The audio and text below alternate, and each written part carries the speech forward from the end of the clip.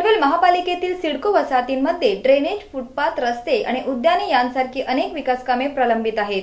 त्या संदर्भात नवीन पनवेलच्या लोकप्रतिनिधींनी सिडकोच्या येथील कार्यालयात जाऊन विविध विकास कामे पूर्ण करण्यासंदर्भातील निवेदन सिडकोच्या अधिकाऱ्यांना बुधवारी दिले.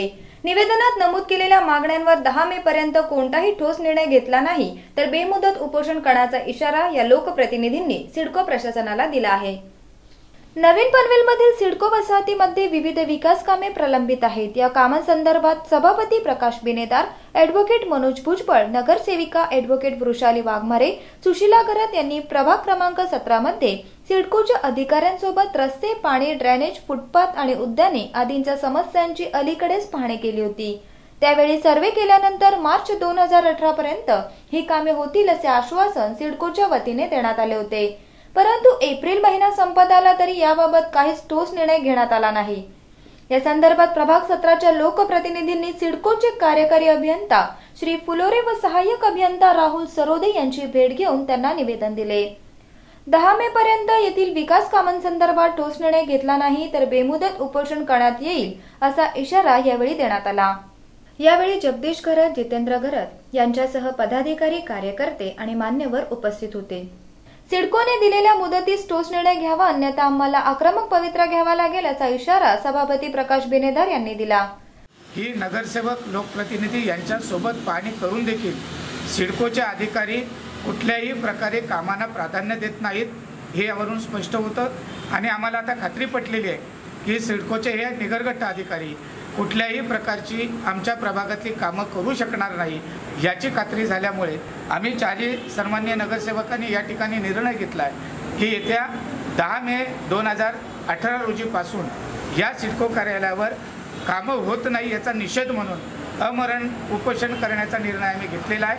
आणि याच्या संदर्भात आम्ही लोकनेते मान्य रामशेठ ठाकूर साहेब यांच्या मार्गदर्शनाखाली काम करतो. माननीय आमदार प्रशांतदादा ठाकूर साहेब यांच्या नेतृत्वाखाली काम करतो. त्याच्यामुळे आमच्या प्रभागामध्ये सिडको हातीमध्ये ही कामं सिडकोकडून होणं अपेक्षित आहे. मात्र सिडको आज बघ्याची भूमिका घेत आहे. ही महानगरपालिका झाली आहे. ही कामं महानगरपालिकेने घ्यावे जेणेकरून सिडकोचा पैसा वाचेल.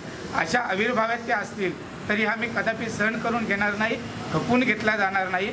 अधिकाऱ्यांच्या विरोधात आम्ही तीव्र आंदोलन या ठिकाणी करणार आहोत. ऍडव्होकेट मनोज भुजबळ यांनीही सिडकोच्या उदासीनतेबाबत नाराजी व्यक्त केली. ऍडव्होकेट वृषाली वाघमारे आणि नगरसेविका सुशीला घरात यांनीही आपली प्रतिक्रिया मल्हार टीव्हीला दिली.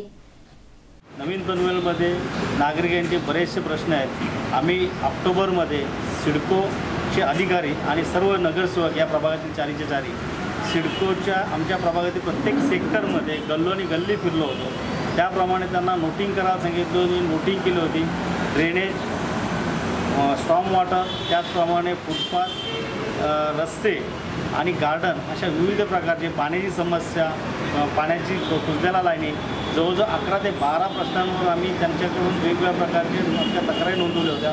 तक्रार नोंदवल्या त्यांनी सर्वे केल्यानंतर सर्वेचं अहवाल सिडकोच्या वरिष्ठ अधिकाऱ्यांना पाठवून त्याप्रमाणे वेगवेगळे टेंडर्स करण्याचं आश्वासन दिलं होतं. पण आज ऑक्टोबरपासून आज जवळजवळ आता आणि मार्चपर्यंत जवळजवळ सर्व कामं पूर्ण होतील. जवळजवळ वीस एक करोडची कामं आहेत आणि ही कामं आम्ही पूर्ण करून जाऊ असं आश्वासन आम्हाला चौघांना दिल्यानंतर आम्ही प्रत्येक वेळी प्रत्येक चौघाच्या चौघा जाऊन सिडको अधिकाऱ्यांची पा पाठपुरावा करत होतो. परंतु आम्हाला या पुढच्या महिन्यात होईल पुढच्या महिन्यात करून आज जवळजवळ पंचवीस पंचवीस तारीख महा एप्रिलची उघडली आणि उजाडली.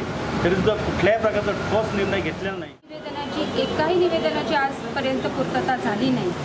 त्या म्हणूनच आज आम्ही सिडकोमध्ये चारी नगरसेवक तिथे आलेलो आहोत आणि त्यांना विचारणा केली.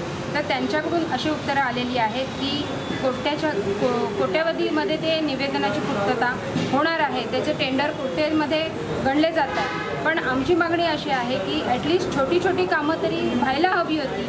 तीही झालेली नाही. या उपोषणाच्या बाबतीत जो निर्णय घेतलेला आहे तो अति योग्य असा आहे. या योग्यतेप्रमाणे आम्ही पुढे उपोषण करणार आहोत.